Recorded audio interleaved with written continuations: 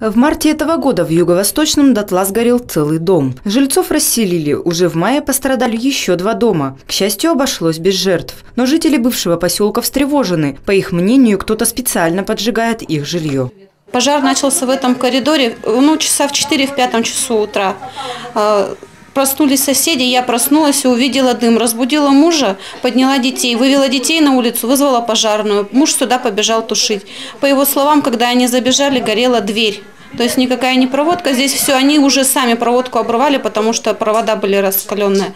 Но горела, дверь полностью охвачена была. Жители рассказывают, что все пожары происходят по одному сценарию. Возгорание начинается от двери в одно и то же время. Один из жильцов, пострадавший от огня квартиры, слышал незадолго до пожара, как хлопнула дверь подъезда. 13 мая в 4.41 на центральный пункт пожарной связи поступило сообщение о пожаре по адресу микрорайон Юго-Восточный, квартал 3, дом 9. На место пожара было направлено 4 автоцистерны. На момент прибытия пожарных подразделений происходит горение входной двери, потолка, сильное задымление. Пожар был потушен в течение двух минут. Предполагаемая причина пожара – поджог.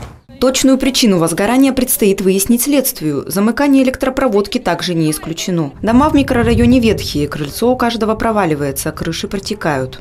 Поселок у нас уже существует много лет ему, наверное, уже более 60 лет. С времен его основания ремонт никогда не производился, капитальный ремонт домов. Поэтому проводка вся старая, требует замены. Естественно, мы так думаем, что и она может повлиять на условия нашей жизни. Пока идет следствие, жители занимаются восстановлением пострадавших от огня квартир. Местный ЖЭК лишь заменил проводку в отдельных подъездах. Делать косметический ремонт придется собственникам жилья. Евгения Шильникова, Михаил Тырышкин. Местное время.